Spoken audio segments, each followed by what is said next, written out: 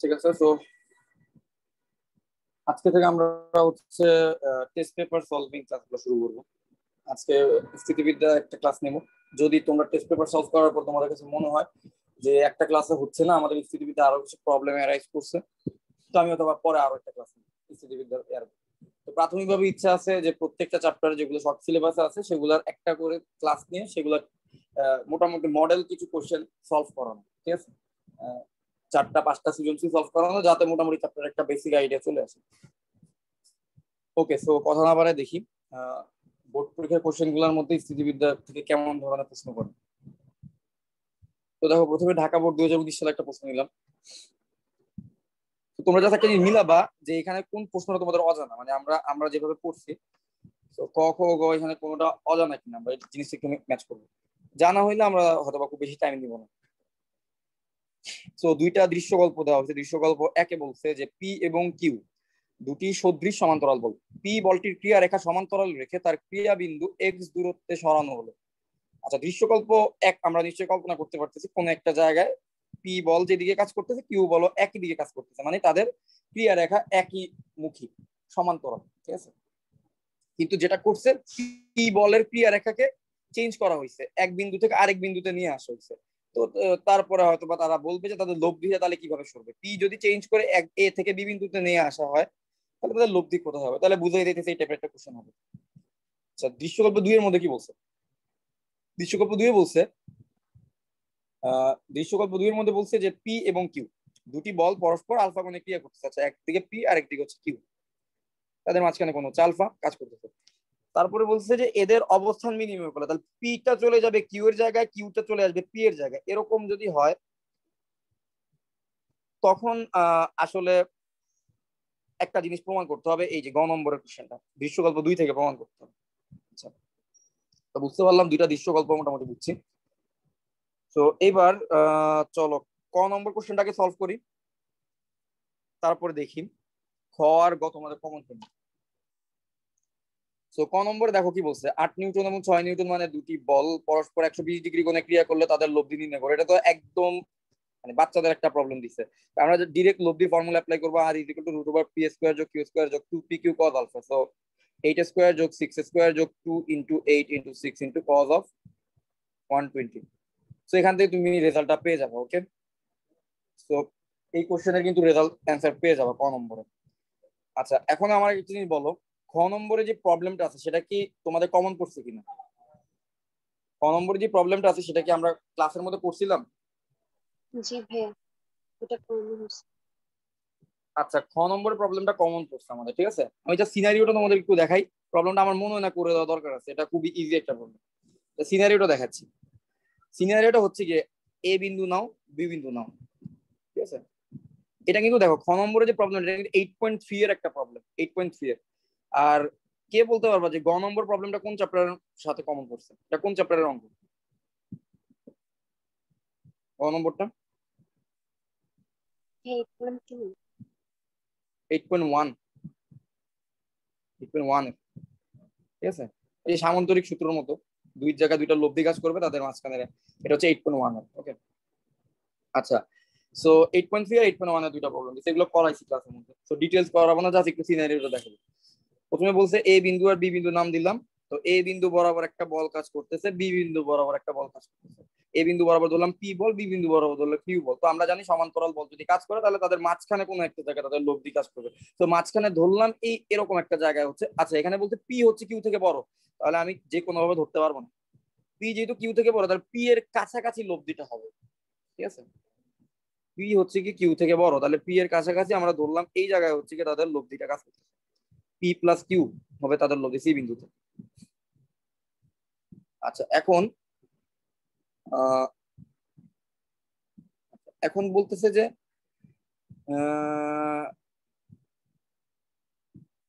ও আচ্ছা P Q থেকে বড়, এটা তো বলে নাই। আমরা তো দৃশ্যকল্প এক থেকে সলভ করতেছি এখানে বলে নাই পি কিউ থেকে বড় কিনা, তাহলে তুমি যে কোনো জায়গায় ধরতে পারো। তো সেটা তোমার উপর।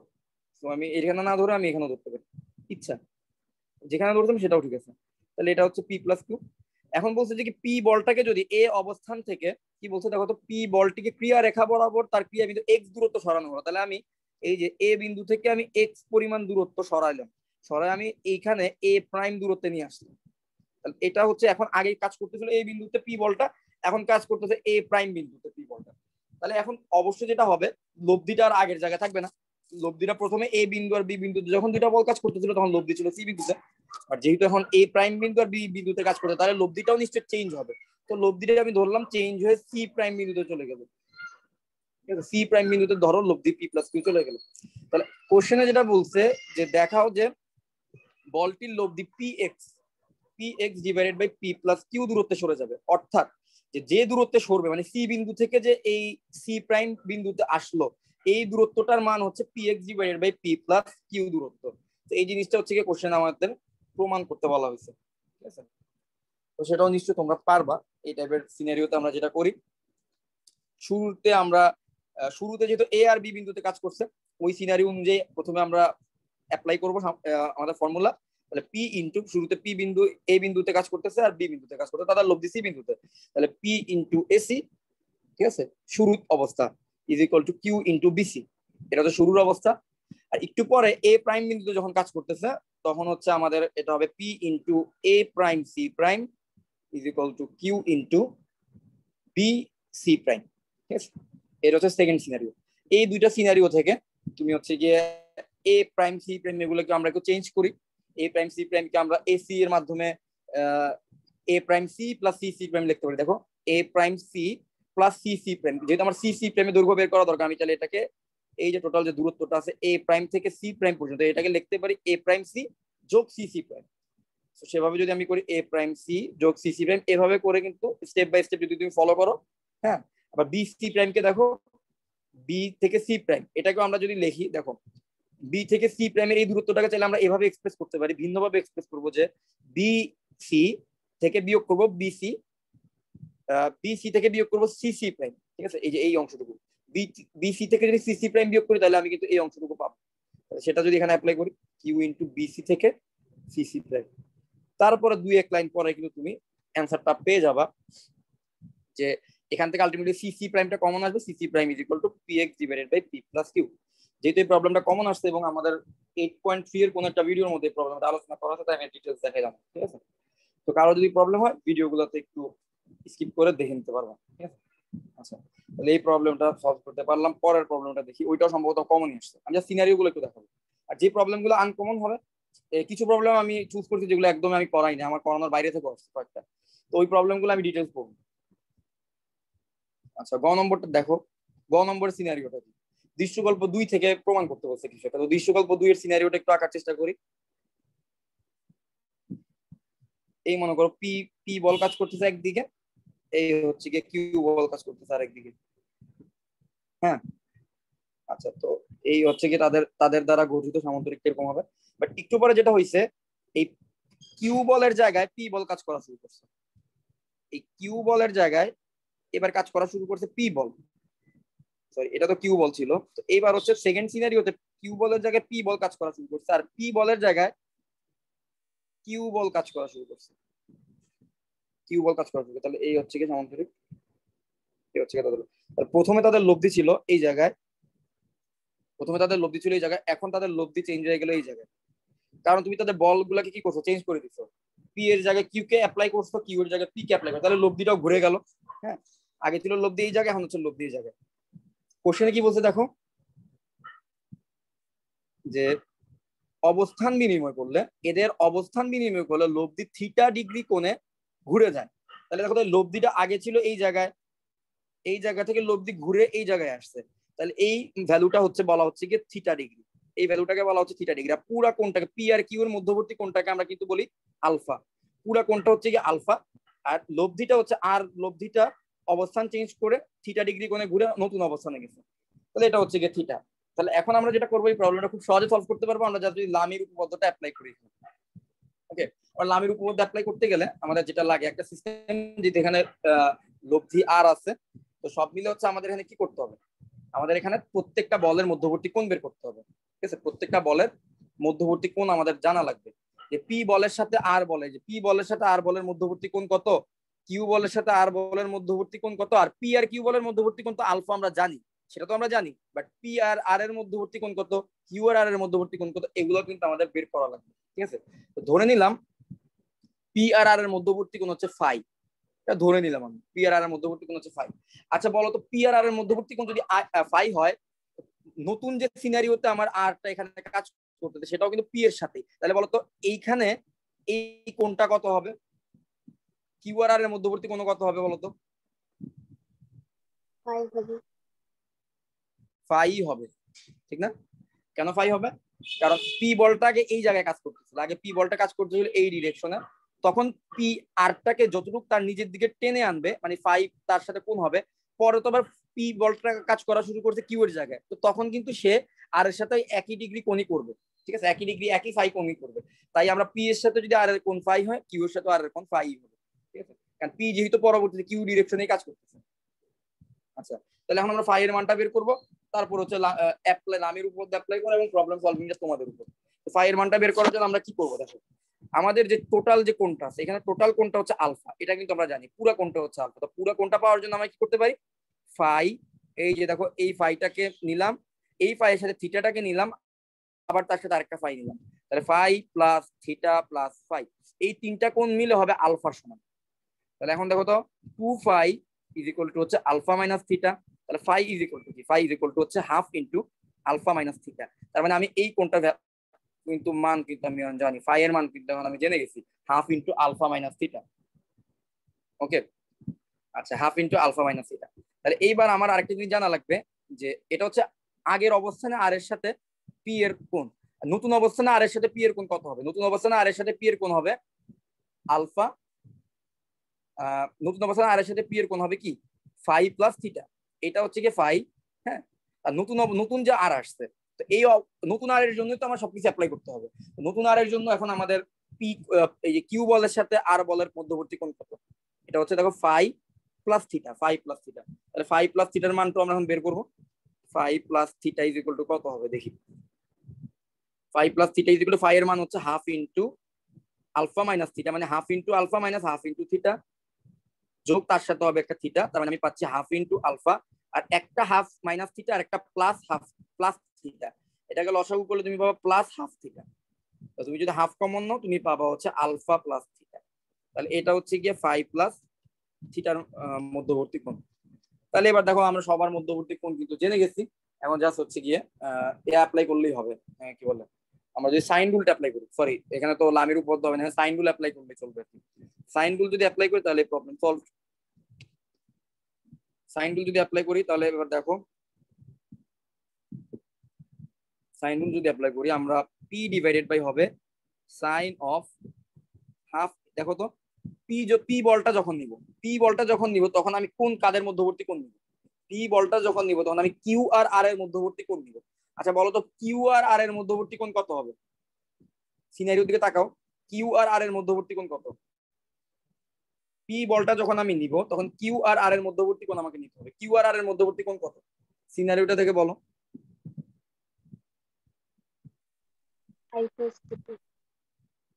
Exactly phi plus theta Q আর আর এর মধ্যবর্তী কোণ হচ্ছে কি? কত?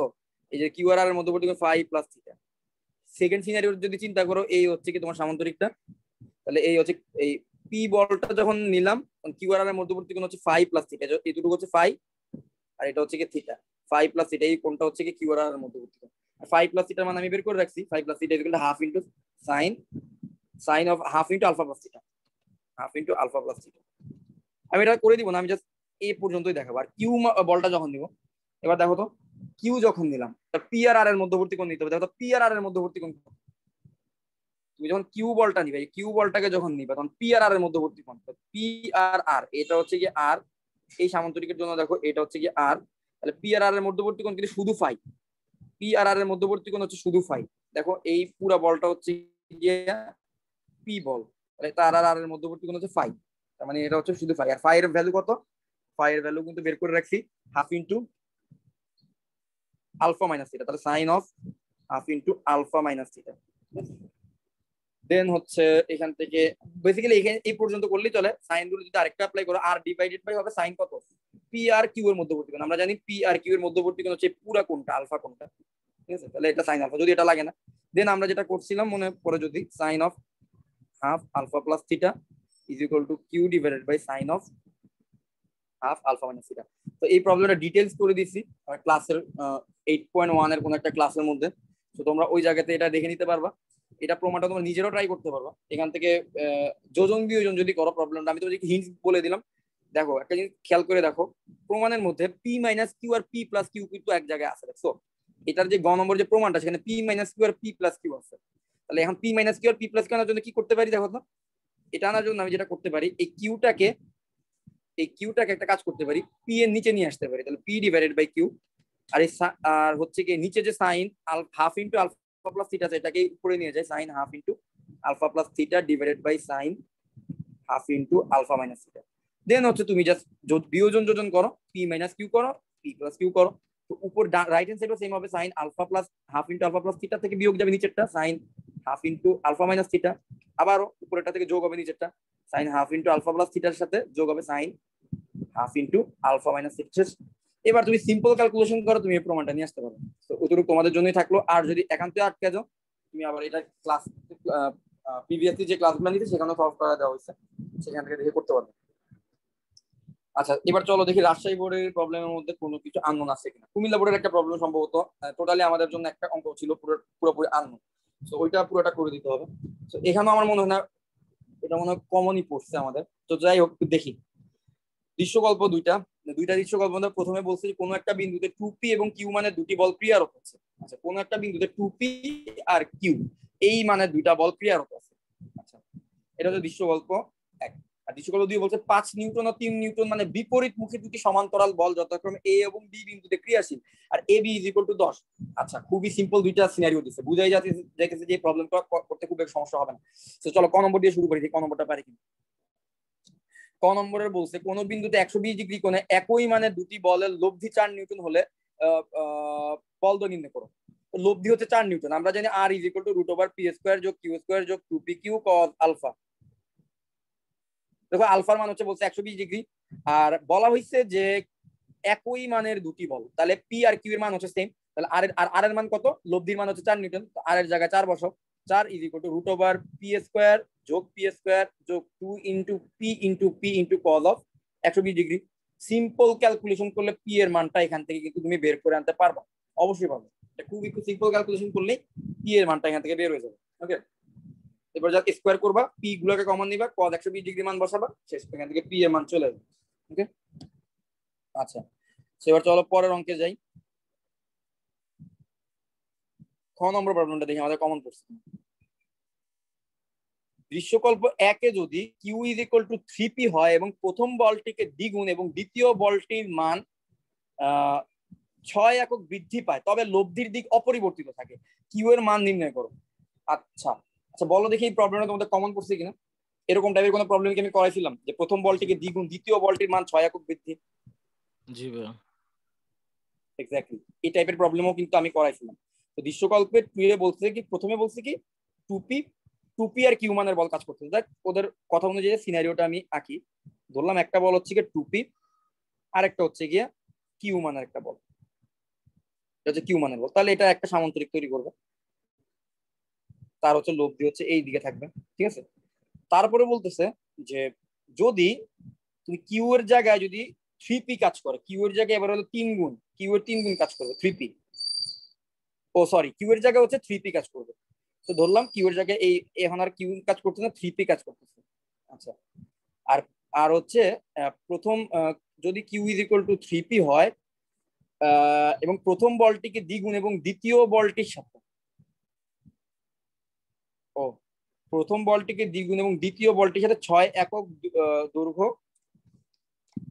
বৃদ্ধি করা হয়। Q is equal to three P আর প্রথম বলটিকে দ্বিগুণ। এবং দ্বিতীয় বলটির মান ছয় একক বৃদ্ধি করা হয়। আচ্ছা তবে লব্ধির দিক অপরিবর্তিত থাকে। প্রথম সিনারিওতে হচ্ছে টু পি আর কিউ তো তাদের লব্ধির দিক হচ্ছে এই আর হচ্ছে এই ডিরেকশনে তারপরের সিনারিওতে যেটা বলছে, যে কিউ কে আমি কি করব? থ্রি পি করব। আচ্ছা প্রথম বলটিকে দ্বিগুণ। আচ্ছা প্রথম বলটি হচ্ছে টুপি তাহলে টু পি কে করব আমি দ্বিগুণ। হ্যাঁ আর দ্বিতীয় বলটির সাথে ছয় একক বৃদ্ধি দ্বিতীয় বলটিকে কিন্তু প্রথমে আমি Q is equal to three P বানাইছি। তারপরে বলছে থ্রি পি কে আবার ছয় একক বৃদ্ধি করো। আরও ছয় একক বৃদ্ধি করলাম থ্রি পি প্লাস সিক্স আর প্রথম বলটিকে দ্বিগুণ, প্রথম বলটি ছিল টু পি টু পি কে করলাম ফোর পি এই টাইপের সিমিলার টাইপের একটা প্রবলেম করাইছিলাম। এইবার বলতেছে কি তাদের লব্ধির মান সেমই থাকবে। মানে লব্ধি আগে ডিরেকশনে কাজ করবে। আমার চিত্রটা হয় নাই মানে লব্ধি হচ্ছে আগে যেইভাবে কাজ করতেছিল, যেই ডিরেকশনে এখন হচ্ছে সেম ডিরেকশনে কাজ করতেছে। ঠিক আছে? চিত্রটা একটু সুন্দরভাবে আঁকি। প্রবলেমটা একদম সহজ। এই টাইপের প্রবলেম মনে আমি এমসিকিউ তো করাইছি ঠিক আছে?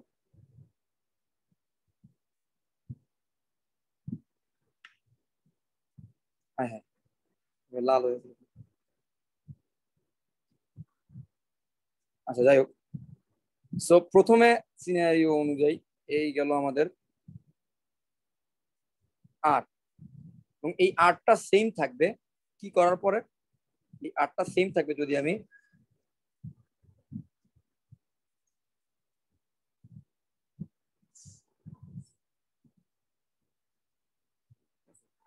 তো প্রথমে ছিল, দেখো, প্রথম সিনারিও অনুযায়ী বলছে, টুপি আর কিউ মানের বল তো টুপি আর এই এইটুকু দৈর্ঘ্য হচ্ছে গিয়ে কিউ আর এতটুকু দৈর্ঘ্য হচ্ছে গিয়ে টুপি।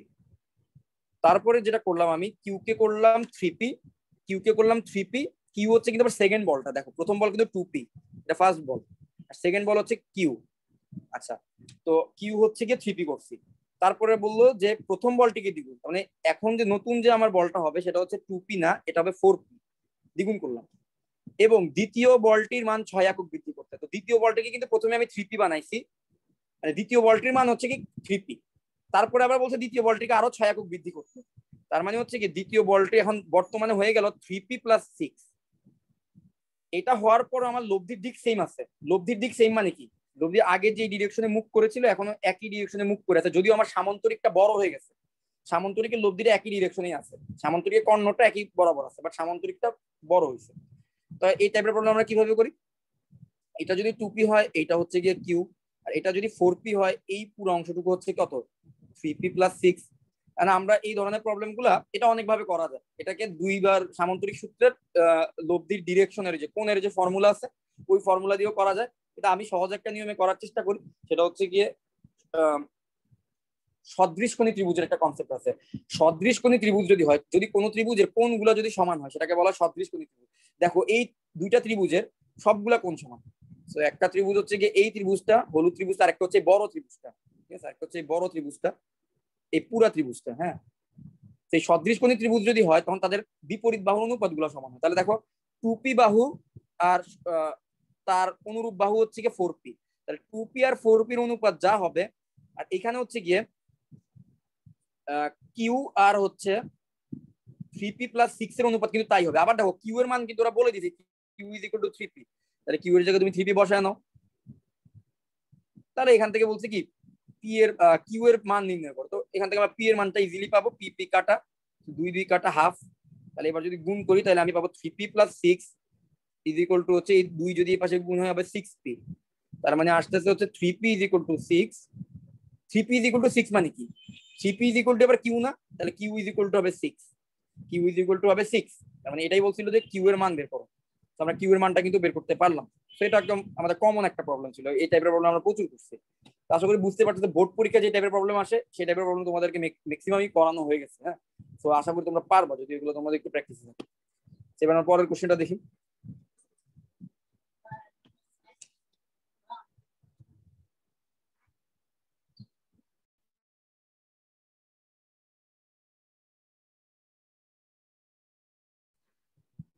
আচ্ছা সরি ওকে হ্যাঁ। এখন আমরা দেখি, গ নম্বর কোশ্চেনটা দেখি। গ নম্বর বলছে যে কি, দৃশ্যকল্প দুই এ প্রত্যেক বলের মান যদি তিন নিউটন করে বৃদ্ধি করা হয়, তবে লব্ধির ক্রিয়া বিন্দু কত দূরত্বে সরে যাবে? দৃশ্যকল্প দুই যেটা, সেটা অনুযায়ী আগে চিত্রটা রাখি এটাও মনে হয় আমাদের কমনই করা লাগবে না তেমন। একটা হচ্ছে এ বিন্দু, আর একটা হচ্ছে বি বিন্দু। আচ্ছা এ আর বি বিন্দু, আগে ইয়া করলাম, এ বিন্দু, বি বিন্দু। তারপরে কি বলছে? তারপরে বলছে যে বিপরীতমুখী সমান্তরাল বল। তাহলে তাহলে যেটা হবে যে এ বিন্দুতে যদি আমার ধরো পাঁচ নিউটনের বল একটা কাজ করতেছে এই বিন্দুতে হচ্ছে পাঁচ নিউটনের একটা বল কাজ করতেছে আর বি বিন্দুতে তাহলে বলতেছে কি বিশ্বকল্প একটা পাঁচ নিউটন আর একটা হচ্ছে তিন নিউটন মানে বিপরীতমুখী সমান্তরাল। তাহলে পাঁচ নিউটন যে ডিরেকশনে কাজ করবে, তিন নিউটন কাজ করবে তার বিপরীত ডিরেকশনে আচ্ছা তার মানে তাদের এই যে ক্রিয়া রেখা এই যে এই যে টোটাল যে সমান্তরাল যে রেখাটা আছে এই রেখার মধ্যে কোনো এক জায়গায় তাদের লব্ধি কাজ করবে। তো লব্ধিটা কাজ করবে কোথায়? ধরলাম এই এ বিন্দুর কাছাকাছি হবে, তাই না? এই বিন্দুর কাছাকাছি হবে লব্ধি। তাহলে এটা হচ্ছে গিয়ে টু নিউটন সি বিন্দু। এখন বলছে যে আমরা যদি প্রত্যেক বলের মান তিন নিউটন করে বৃদ্ধি করি, তবে লব্ধির ক্রিয়া বিন্দু কত দূরে সরে যাবে? তার মানে এইটা এখন আর পাঁচ নিউটন না, এটাকে আমি বাড়ায় করব আট নিউটন। এইটা এখন আর তিন নিউটন না, এটাকে আমি বাড়ায় করব ছয় নিউটন যদি এরকম বাড়ায় দেই, তাহলে লব্ধির ক্রিয়া বিন্দু স্বাভাবিকভাবে সি বিন্দু থেকে ডি বিন্দুতে চলে যাবে, অন্য একটা বিন্দুতে চলে যাবে। তাহলে এখন আমাকে এটাই বলতে যে লব্ধির ক্রিয়া বিন্দু ঠিক কতটা দূরে সরে যাবে সিডি এর মান কত? তাহলে এই টাইপের প্রবলেমও তোমরা আশা করি পারবা। আমি জাস্ট এক সিনারিও গুলো বলি, প্রথমে আমাদের কাজ হবে কি? প্রথমে আমাদেরকে ফার্স্ট সিনারি অনুযায়ী যদি আমরা এখানে ফর্মুলাটা অ্যাপ্লাই করতে চাই, বলতো প্রথম সিনারি অনুযায়ী ফর্মুলাটা কি হবে?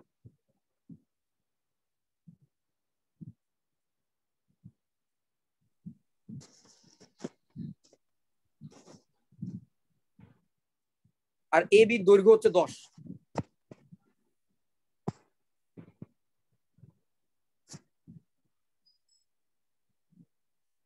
প্রথম সিনারি অনুযায়ী ফর্মুলাটা বলো তো কি হবে? যখন পাঁচ নিউটন আর হ্যাঁ বলো। A into AC equal to B into BC. এ বলতে হচ্ছে পাঁচ Newton. Five into AC is equal to three into BC এরকমই তো হবে তাই না। Five into AC is equal to three into BC তো এখান থেকে একটা কাজ করতে পারি আমরা এসি দৈর্ঘ্যটুকু বের করে ফেলতে পারি। এসি দৈর্ঘ্যটুকু যদি বের করে ফেলি সেখান থেকে পরে আমরা আবার সিডি দৈর্ঘ্য বের করতে পারব।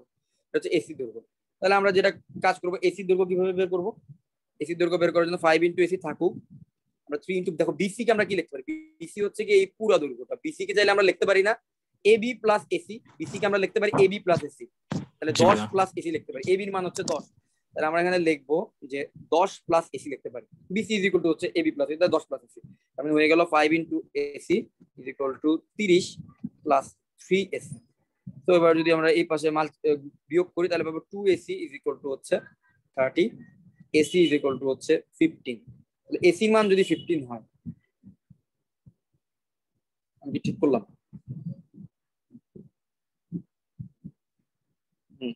দশ প্লাস হ্যাঁ AC is equal to fifteen okay তাহলে এসির মান আমরা পেয়ে গেলাম এসি হচ্ছে গিয়ে পনেরো। তাহলে এবার তুমি যা সেকেন্ড সিনারিওতে আবার ফর্মুলাটা অ্যাপ্লাই করো। যখন তোমার লব্ধির মান হচ্ছে গিয়া তখন তোমার বলগুলোর মান তুমি বৃদ্ধি করলা, তখন তুমি এই সিনারিওটা আবার ফর্মুলাটা অ্যাপ্লাই করো। এখন তোমার বলগুলোর মান কত হয়েছে? এখন তার পাঁচ নিউটন এখন হচ্ছে আট নিউটন। আর লব্ধিও তো আর এখন আর সি বিন্দুতে নেই, লব্ধি চলে গেছে ডি বিন্দুতে। তাহলে এবার হচ্ছে এইচ ইন্টু এবার হচ্ছে লব্ধি চলে গেল ডি বিন্দুতে। তাহলে এডি ইজ ইকুয়াল টু এবার এটা হয়ে গেল six newton six into B থেকে ডি বিডি ঠিক আছে? তাহলে এবার আমরা দেখি এডি কে কি লেখা যায়? ঠিক আছে এডি কে লেখা যায় দেখো এডি কে কিন্তু লেখা যায় এসি প্লাস সিডি দেখো। এডি হচ্ছে এই পুরো দৈর্ঘ্যটুকু এটাকে লেখা যায় এসি প্লাস সিডি আর এসির মান কিন্তু পনেরো এডি আমরা জানি। এডি কে এডি রাখলেও হবে। তুমি যে কোনো ভাবে করতে পারো। তোমাদের আমরা টার্গেট হচ্ছে সিডি বের করো না। আমাদের টার্গেট হচ্ছে সিডি বের করো। হ্যাঁ এডি থেকে এসি বাদ দিলেই তো হয় মনে হয় তাহলে। হ্যাঁ এটাও করতে পারি। এডি থেকে এসি বাদ দিতে পারি। ঠিক আছে? এডি বের করতে পারো। তারপর হচ্ছে এসি দৈর্ঘ্য থেকে বিয়োগ করতে পারো। আমি যেভাবে যেভাবে করব সেটা হচ্ছে যে কি আমরা এডিটাকে আমরা লিখলাম হচ্ছে ফিফটিন প্লাস কি লিখলাম? ফিফটিন প্লাস হচ্ছে সিডি আমার কাজ হচ্ছে সিডি বের করা। তাহলে একসাথে অ্যান্সার আসবে। আর সিক্স ইন্টু এবার বিডি বিডিটাকে আমরা কি লিখতে পারি? বিডিটাকে আমরা লিখতে পারি দেখো তো। বিডিকে আমরা লিখতে পারি বিসি বিসি প্লাস সিডি এটা লিখতে পারি না? বিসি দৈর্ঘ্য কত? দেখো তো বিসি দৈর্ঘ্য হচ্ছে দশ প্লাস পনেরো মানে হচ্ছে পঁচিশ। পঁচিশ প্লাস সিডি ওকে এখানে আমরা সিডি বের করে ফেললে আমাদের অ্যান্সার শেষ। সো এইট ইন্টু ফিফটিন কিছু একটা আসবে, যোগ এইট সিডি যোগ সিক্স ইন্টু টোয়েন্টি ফাইভ কিছু একটা আসবে, যোগ সিক্স সিডি ওইখান থেকে তুমি যদি বিয়োগ করো, তুমি পাবা হচ্ছে সিক্স সিডি এইট সিডি বিয়োগ করলে থাকবে টু সিডি আর হচ্ছে এখানে six into twenty five minus eight into fifteen that mean CD is equal to হচ্ছে six into twenty five minus eight into fifteen divide by two এটাই হচ্ছে তোমার অ্যান্সার তো এই টাইপের যদি কোনো মান রিলেটেড প্রবলেম দেয় মানে মান দিয়ে ডাটা দিয়ে কোনো প্রবলেম দেয় ডাটা দিয়ে প্রবলেম দিলে আমার মনে হয় এটা আরও বেশি ইজি তোমাদের করা। প্রমাণের চেয়ে ডাটার প্রবলেমগুলো বেশি ইজি তো বোর্ড পরীক্ষায় দেখা যায় যদি একটু সহজ টাইপের প্রবলেমে বেশিরভাগ থাকে, আর যেটা তোমাদের আগে বলছিলাম আর খুব বেশি চেঞ্জ করে না। এটা হয়তো যে প্রবলেমগুলো বোর্ডে করছ না ওই প্রবলেম গুলোই কিন্তু অনেকটা চলে আসছে। ঠিক আছে? চেহারা কিন্তু খুব একটা চেঞ্জ হয় তো আশা করি প্রবলেমটা বুঝতে পারছ। তো চলো দেখি নেক্সট প্রবলেম কি আছে। হ্যাঁ এবার একটু ডিফারেন্ট টাইপের একটা প্রবলেম পাইছি। এবার যে প্রবলেমটা পাইছি, এটা সম্ভবত আমাদের এইট পয়েন্ট টু এই চ্যাপ্টারটার প্রবলেম এইট পয়েন্ট টু চ্যাপ্টারটার প্রবলেম কুমিল্লা বোর্ড মোটামুটি আগের প্রবলেমগুলো এইট পয়েন্ট ওয়ান আর এইট পয়েন্ট থ্রি এর একটা কম্বিনেশন ছিল। এবার এইট পয়েন্ট টু এর একটা প্রবলেম পাইছি। দেখি এটা করার চেষ্টা করি। এর আগে কি বলছে দেখা যাক।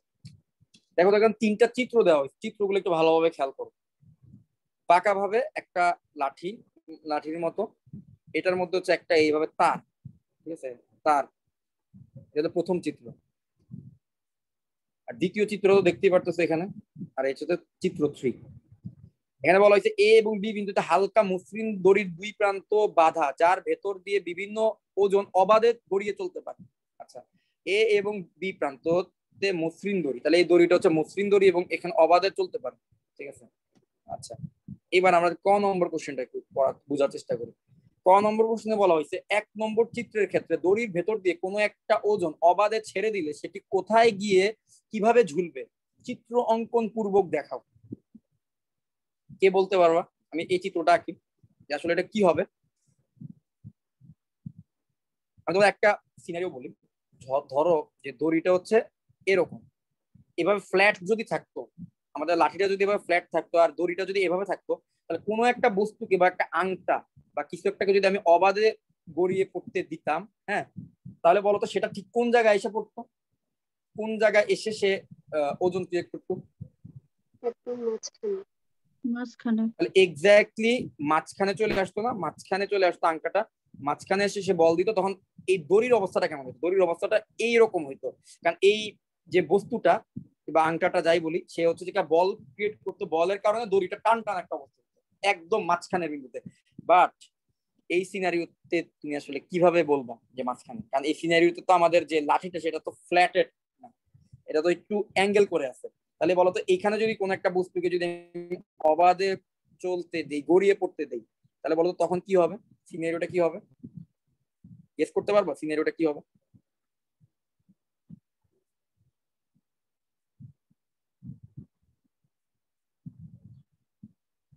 তখন বেসিক্যালি এরকম একটা সিনারিও সিনারিও হবে। এরকম একটা বস্তুকে বা আংটা বা কিছুকে যদি আমি গড়িয়ে পড়তে দিই, তাহলে যেহেতু একটু হেলানো অবস্থায় আছে, তাহলে এটা এখানে মুভ করবে, চলে আসবে, আস্তে আস্তে নিচ পর্যন্ত চলে আসবে। একটা স্টেজ পর্যন্ত আসবে তুমি রিয়েল লাইফের কথা তুমি চিন্তা করলে, এটা তুমি ইমাজিন করতে পারবে। তুমি যদি একটা লাঠিকে বাঁকা ভাবে ধরে তার সুতার মধ্যে কোনো কিছু কীভাবে, কোনো একটা আংটি বা রিং কোনো কিছু যদি ঝুলে দাও, সেই রিংটা কি হবে? এসে এই সাইডের কোনো একটা দিকে কিন্তু নিচের দিকে বল প্রয়োগ করবে। তখন হচ্ছে সুতাটা দুইটা ভাগে ভাগ হয়ে যাবে। একটা ভাগ এভাবে থাকবে আর একটা ভাবে এভাবে উপরের দিকে টান টান অবস্থা থাকবে তাহলে এই জিনিসটা হচ্ছে কি তুমি চিত্রের মাধ্যমে দেখাবা। এ আর বি বিন্দু, এই সি বিন্দুতে হচ্ছে এই বলটা এভাবে কাজ করবে। এই জিনিসটা তোমরা চিত্রের মাধ্যমে আশা করি দেখাইতে পারবে ওকে আচ্ছা। তো এবার আসো, দেখি আমরা পরের প্রবলেমটা দেখি পারি কিনা।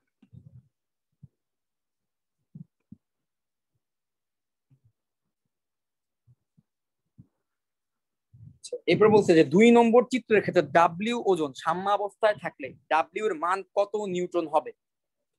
আচ্ছা দুই নম্বর চিত্রটা একটু দেখো, আমি দুই নম্বর চিত্র ডাকার চেষ্টা করতেছি।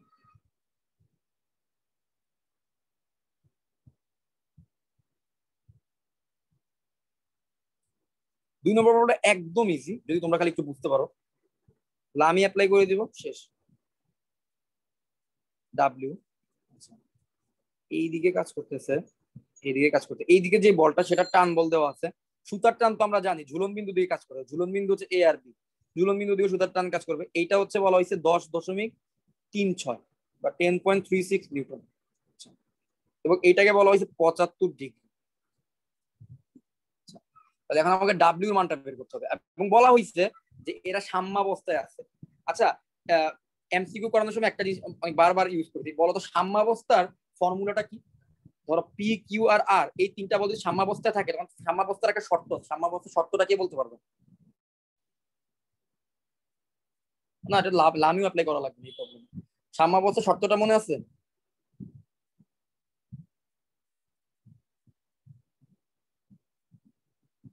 কারও মনে নেই? সাম্যাবস্থা শর্ত। এটা দিয়ে এমসিকিউ কিন্তু করছিলাম অনেকগুলো। যে কোনো সাম্যাবস্থায় যদি তিনটা বল যদি সাম্যাবস্থায় থাকে, তাহলে যে কোনো দুইটা বলের লব্ধি তৃতীয় বলের সমান হয়। তাহলে পি আর কিউ এর লব্ধি হবে পি আর কিউ এর লব্ধি হবে আর এর সমান। আবার আর আর কিউ এর লব্ধি হবে পি এর সমান। আবার পি আর আর এর লব্ধি হবে কিউ এর সমান। এই জিনিসটা কি তোমাদের মনে পড়ছে? সাম্যাবস্থার একটা শর্ত ছিল যে তিনটা বল যদি সাম্যাবস্থায় ক্রিয়েট করে, ভারসাম্য ক্রিয়েট করে, তখন এটাও একটা শর্ত যে তাদের যে কোনো দুইজনের লব্ধি তৃতীয় জনের মানের সমান হবে এবং দিক হবে বিপরীত। কি মনে পড়ছে?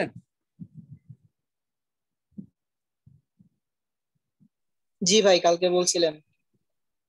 হ্যাঁ গুড সো একটা জিনিস খেয়াল করো এখানে ডাব্লিউ বল আর হচ্ছে এখানে দুইটা টান বল আছে। একটা টান বল হচ্ছে বি এর দিকে আর একটা টান বল হচ্ছে এ বিন্দুর দিকে কাজ করতেছে। তাহলে তিনটা বল মিলে যদি জিনিসটাকে সাম্যাবস্থায় রাখে তার মানে অবশ্যই যে জিনিসটা হবে যে ডাব্লিউ বলটা আসলে নিচে পড়তে চাইবে। কিন্তু বাকি দুইটা সুতার টানটা কি করবে? তাকে ধরে রাখছে। তার মানে এই যে সুতার টান, এই সুতাটা এই দিকে টানতেছে, এই সুতাটা এই দিকে টানতেছে, তাদের দুইজনের টানের লব্ধি হবে ডাব্লিউ সমান। তারা দুইজনের টানের লব্ধি ঠিক এই ডিরেকশনে কাজ করবে এবং সেটা হবে ডাব্লিউ মানের সমান, ঠিক আছে? মানে তারা যেই বলে টানবে ডাব্লিউ সেম একই বল, এই জন্য এই জিনিসটা স্থির অবস্থা বা ভারসাম্য অবস্থা ঠিক আছে? তাহলে এখন একটা যেটা করব আমরা, সেটা হচ্ছে কি, তার মানে ডাব্লিউটা হবে এই দুইটা টান বলের লব্ধির সমান। এমন একটা জিনিস খেয়াল করো।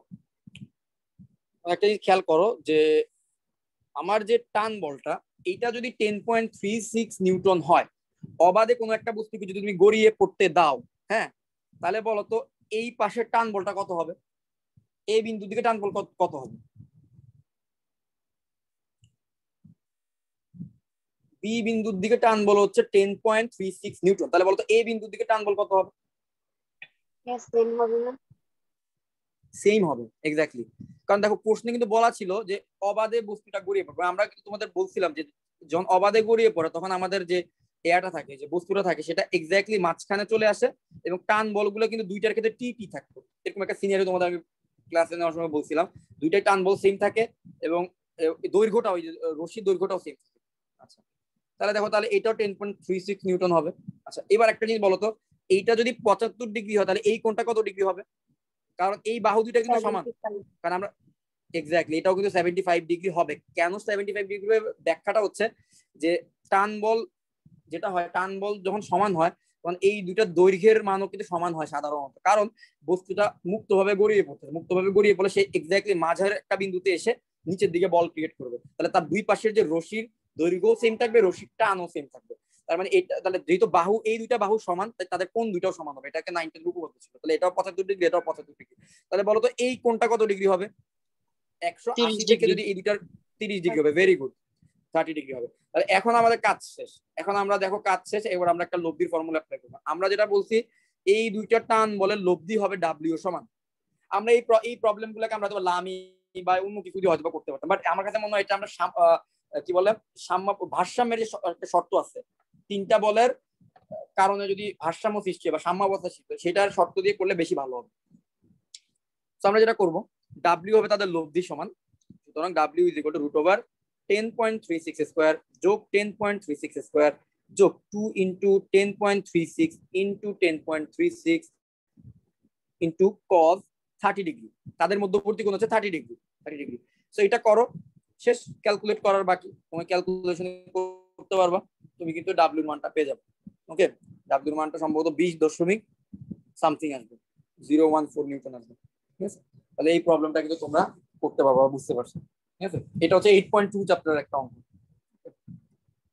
আচ্ছা এবার আমরা দেখি সি নম্বর প্রবলেমটা কি বলছে।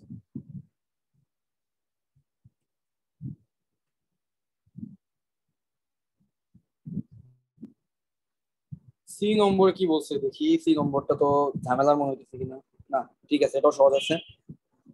তিন নম্বর চিত্রে সি বিন্দুতে বিশ কেজি ভরকে সাম্যাবস্থায় ঝুলানোর জন্য টি ওয়ান এবং টি টু এর মান কত হওয়া প্রয়োজন?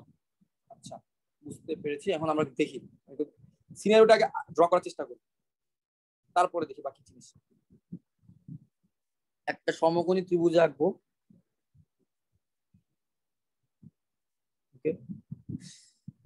এই বিন্দুতে একটা বিশ কেজি ওজনের বস্তু, বিশ কেজি ওজনের বস্তু, ঠিক আছে? তাহলে এই বস্তুটাকে সাম্যাবস্থায় রাখার জন্য এই দিকে হচ্ছে একটা বল দেওয়া হচ্ছে টি টু বল নাইনটি ডিগ্রি আবার এই দিকে একটা বল দেওয়া হচ্ছে, সেটা হচ্ছে গিয়ে টি ওয়ান বল। আবার এই দিকে আবার বিপরীত দিকে দশ নিউটনের একটা বল দেওয়া হচ্ছে। তিনটা বল তার উপর কাজ করতেছে। বলতেছে এই তিনটা বল মিলে তাকে কি করবে? বিশ কেজি ওজনের বস্তুকে সাম্যাবস্থায় ঝুলে রাখবে। হ্যাঁ? তাহলে বিশ কেজি ওজনের বস্তুকে সাম্যাবস্থায় ঝুলানোর জন্য এই তিনটা বল যে কাজ করতেছে, কাজ করতে হইলে তাহলে টি ওয়ান আর টি টুর মানকে কত হইলে এই জিনিসের সাম্যাবস্থায় থাকবে? টি ওয়ান আর টি টুর মান ঠিক কত হইলে এই জিনিসের সাম্যাবস্থা থাকবে? আচ্ছা এই কোনটা হচ্ছে পঁয়তাল্লিশ ডিগ্রি।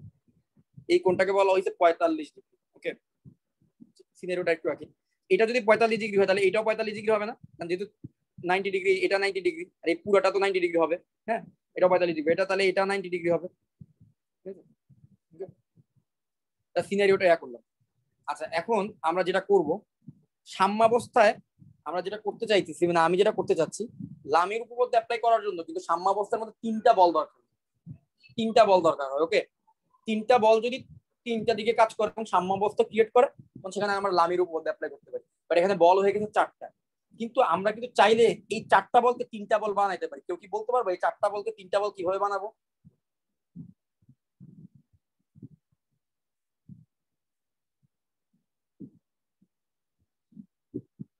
কেউ কি বলতে পারবা? এই চারটা বলকে তিনটা বলে আমি কীভাবে কনভার্ট করতে পারি?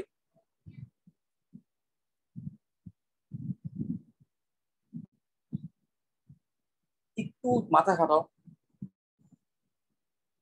এই চারটা বলকে তিনটা বল বানায় ফেলা যাবে খুব সহজে কিছু একটা প্লাস মাইনাস করতে হবে। একদম উপরের দিকে আর নিচের দিকে যে দুটো কাজ করতেছে ভিতরের দিকে ওই দুটাকে একটা বানায় ফেলেছে exactly very good very good answer proper answer so দেখো এখানে দশ নিউটন কাজ করতেছে কিন্তু সেটা যে ডিরেকশনে কাজ করতেছে বিশ কেজি আচ্ছা এখানে একটা কাহিনী আছে। দশ নিউটন কিন্তু। এই বলটা ছিল দশ নিউটন। আমরা একটা কাজ করব, বিশ কেজি বল আসলে কত নিউটন? বিশ কেজি ওজন আসলে কত নিউটনে সেটা আমরা বের করি। আমরা কিন্তু ফিজিক্স থেকে জানি নিউটন বা ডাব্লিউ ইজ টু কি? এমজি না? W is equal to MG কারও ভর যদি বিশ কেজি হয়, তা সে আসলে কত নিউটন নিচের দিকে মানে পৃথিবীটাকে ঠিক কত নিউটন বলে টানবে নিচের দিকে? কারও ভর যদি বিশ কেজি হয়, তাহলে তাকে twenty into nine point eight এই পরিমাণ নিউটন বা এই পরিমাণ বলে পৃথিবী তাকে নিচের দিকে টানবে, সেটাকে বলা হয় তার ওজন। Twenty into nine point eight করলে কত হয়? আমার ক্যালকুলেট তো দেখো তোমরা একটু দ্রুত করে আমাকে একটু বলো তো এটার ভ্যালু কত আসবে? Twenty into nine point eight কত আসবে? একশো ছিয়ানব্বই। ওকে সো বেসিক্যালি এখানে টোয়েন্টি নিউটন টোয়েন্টি কেজি মানে হচ্ছে একশো ছিয়ানব্বই নিউটন বল কাজ করতেছে। একশো ছিয়ানব্বই নিউটন বল কাজ করতেছে। কিন্তু দেখো দশ নিউটন কাজ করতেছে উপরের দিকে, একশো ছিয়ানব্বই নিউটন কাজ করতেছে নিচের দিকে। আমি যেটা করব, লামের উপর অ্যাপ্লাই করার জন্য এই দুইটা বলকে একটা বল বানায় ফেলব। আমরা জানি একটা বল যদি এক ডিরেকশনে কাজ করে আর একটা বল যদি তার এক্স্যাক্টলি অপোজিট ডিরেকশনে কাজ করে, তাহলে তাদেরকে সিম্পলি বড় বল থেকে ছোট বলটাকে বিয়োগ করে দিলে তাদের দুইটা পরিবর্তে একটা সিঙ্গেল বল দেখা যায়। তাহলে এই দশ নিউটন আর একশো ছিয়ানব্বই নিউটনের মিলিত প্রভাব হবে একশো ছিয়াশি নিউটন সে তাকে দশ নিউটন উপরের দিকে দিবে, সে আবার একশো ছিয়ানব্বই নিউটন নিচের দিকে দিবে, তারপরে আলটিমেটলি প্লাস মাইনাস করে বস্তুটা একশো ছিয়াশি নিউটন নিচের দিকে অনুভব করবে। তাহলে এইবার দেখো আমি একশো ছিয়াশি নিউটন পাচ্ছি নিচের দিকে, আর এইখানে টি ওয়ান আর টি টু পাচ্ছি টি ওয়ান টি টু আর একশো ছিয়াশি। এই তিনটা সিস্টেম মিলে হচ্ছে আমার এই বস্তুটাকে সাম্যাবস্থা রাখছে। তো চলো এবার এখানে আমরা লামের উপপাদ্যটা অ্যাপ্লাই করি। তো লামের উপপাদ্য অ্যাপ্লাই করলে কি হবে? কাইন্ড অফ সাইন রুলের মতোই।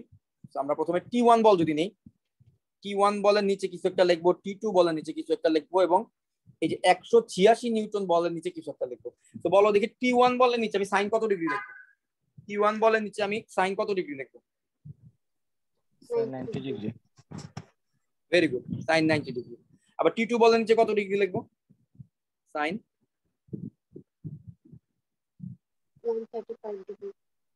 একশো পঁয়ত্রিশ ডিগ্রি নাইনটি ডিগ্রি আর পঁয়তাল্লিশ ডিগ্রি যোগ করে একশো পঁয়ত্রিশ ডিগ্রি লিখব। আর একশো ছিয়াশি নিউটনের নিচে আমি কত ডিগ্রি লিখব সাইন?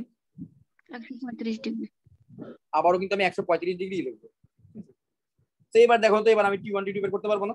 একবার যদি আমি করি যেহেতু তিনটাই পরস্পর সমান তাই আমি লিখতে পারি T one by sine ninety sine নাইনটির মান কিন্তু ওয়ান তাহলে আমার এটা লেখা দরকার। তাহলে টি ওয়ান ইজ ইকুয়াল আমি লিখতে পারি একশো ছিয়াশি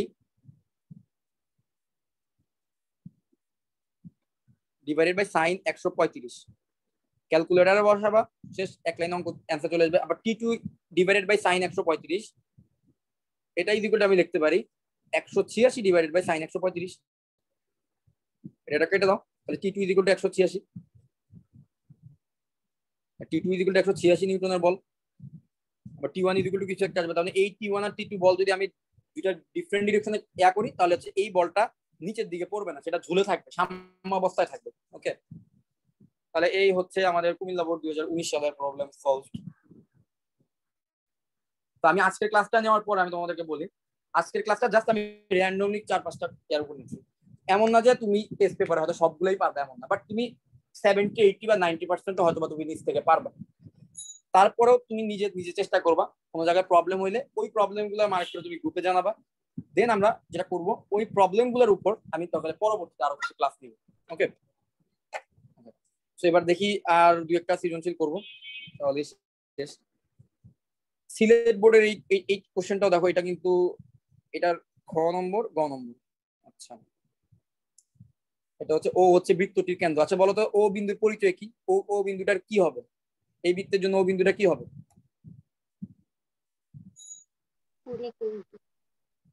এই ও বিন্দুটা কিন্তু এখানে পরিকেন্দ্র। তোমাদের নিশ্চয়ই মনে আছে, পরিকেন্দ্র। আমি এভাবে ত্রিভুজের চার বিন্দু রিলেটেড আলাদাই কিছু ক্লাস যে পরিকেন্দ্র লম্ব কেন্দ্র এরপর হচ্ছে এই রিলেটেড যে চারটা বিন্দু আছে ইম্পর্টেন্ট হ্যাঁ? ভর কেন্দ্র। এদের অঙ্কগুলা এইট পয়েন্ট টু এর মতো ছিল এইট পয়েন্ট থ্রি এর মতো ছিল এবং এগুলো আমি আলাদা দুই একটা ক্লাসের মধ্যে এই অঙ্কগুলো কিন্তু করানো হয়েছিল। এবং এইখানে যে দুইটা প্রবলেম আছে, এই দুইটা প্রবলেমে হুবহু ওই অঙ্কগুলো। ঠিক আছে? যে অঙ্কগুলো আমি করাইছিলাম ক্লাসের মধ্যে। তাহলে আমি জাস্ট একটু তোমাদের রিমাইন্ড করে দেবো, আর কিছু না। তো করানোর কিছু নেই। প্রথম প্রবলেমে দেখো এস মানে দুটি সমান বল একশো বিশ ডিগ্রি কোণে ক্রিয়া করলে তাদের লব্ধির মান করে এটা আর কি করব বলো? এস মানে দুটি সমান বল, একশো বিশ ডিগ্রি কোণে ক্রিয়া করলে তাদের লব্ধির মান নির্ণয় করে। এটা, এই টাইপের প্রবলেম তো প্রচুর করলাম। তাহলে দেখো তো এস মানে দুটি সমান, তাহলে লব্ধির মান কি হবে? R is equal to root over S square যোগ এস স্কোয়ার যোগ two into S into S into cos of একশো বিশ ডিগ্রি। ক্যালকুলেট করলে তুমি পাবা এসি পাবা। তাহলে সমান মানে দুইটা বল যদি একশো বিশ ডিগ্রি কোণে ক্রিয়া করে, তাদের লব্ধির মান আবার এসি হবে। তাহলে এখানে ক্যালকুলেট ক নম্বর প্রবলেম তোমরা পারবে। এবার চলো, খ আর গ নম্বরটা দেখি, পারা যায়। খ নম্বর প্রবলেমটা দেখি। উদ্দীপককে বলছে কি এক্স ওয়াই জেড বল থ্রো সাম্যাবস্থায় থাকলে উদ্দীপকের আলোকে দেখাও যে X is to Y is to Z is equal to A cos A B cos B is to C cos C আচ্ছা ঠিক আছে তো সিম্পল জিনিস, বৃত্ত আঁকি।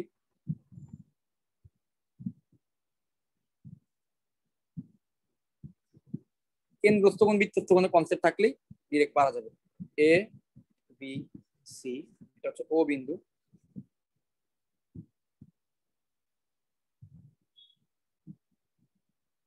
দেখি ওদের চিত্র কি বলছে। এক্স কাজ করতেছে কোন দিকে? এ বিন্দুর দিকে কাজ করতেছে এক্স বি বিন্দু দিকে কাজ করতেছে হচ্ছে কি ওয়াই সি বিন্দু দিকে কাজ করতেছে হচ্ছে কি জেড ঠিক আছে? এক্স ওয়াই জেড কাজ করতেছে। বলছে কি আছে। সাম্যাবস্থা থাকলে কি করব? লামির উপপাদ্য অ্যাপ্লাই করব। লামির উপপাদ্য অ্যাপ্লাই করলেই কাজ শেষ।